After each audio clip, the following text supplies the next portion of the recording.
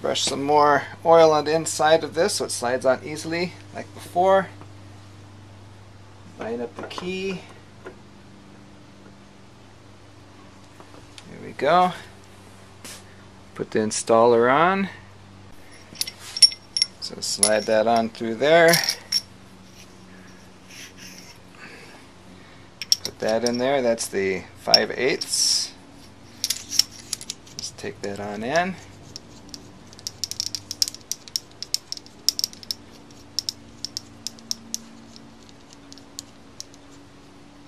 And get a wrench, 9 sixteenths and a half inch for that. I meant to say 5 eighths for that. 9 sixteenths for there.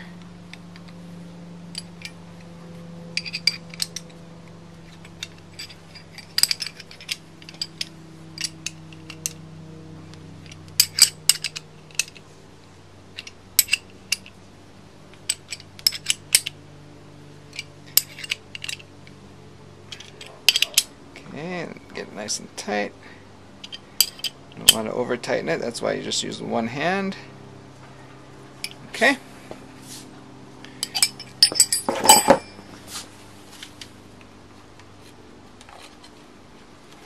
Put some oil on there so you don't chew up your threads. Just like that. Put some oil on there. Yeah, you don't really need it there. Slide that on in.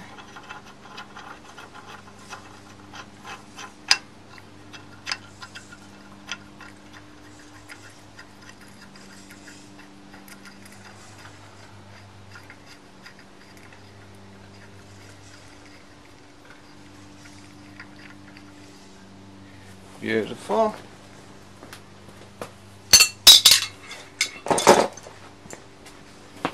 Tighten it up with your 10 inch. Not too too much, just snug.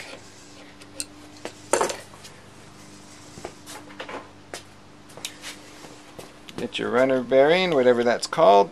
The bearing side towards the nut, flat side towards the damper. Put the nut on.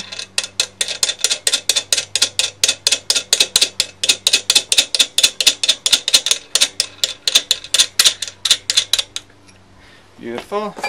And you get your 12 inch guy. And you just tighten it on.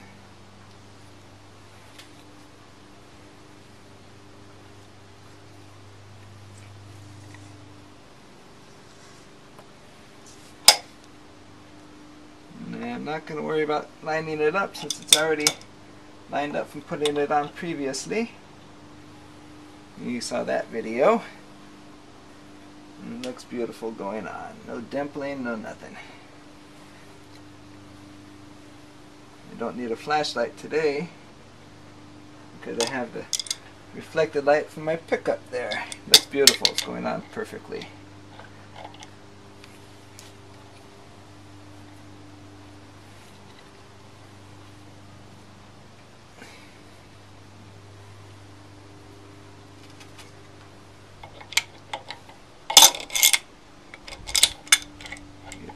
Reseated on there. Taking care not to scratch the face of your pulley, especially after you just painted it, after having scratched it up. okay. It's going on there nicely.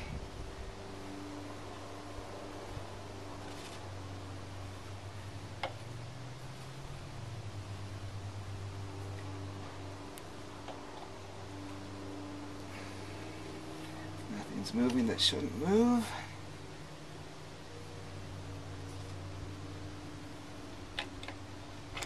I'm going to get over on this side since I'm right-handed.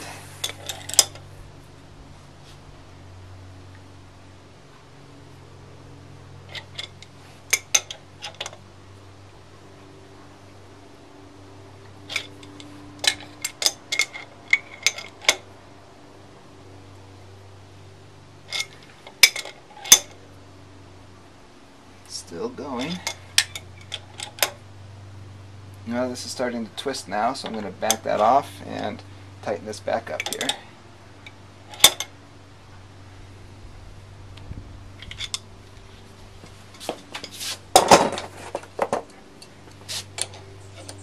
Take that in.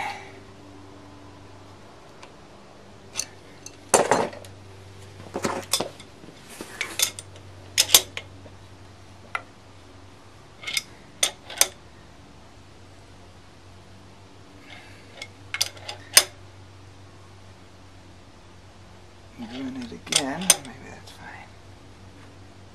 There it goes. See that pulley just moved. That's on there tight. Beautiful. I just realized I have to take this off again because I have to tighten up the timing cover. Um, bolts in another 30 minutes. So I have to take this off again. So you go. So I've just untightened that. And this is all there is to pulling it off. Nope.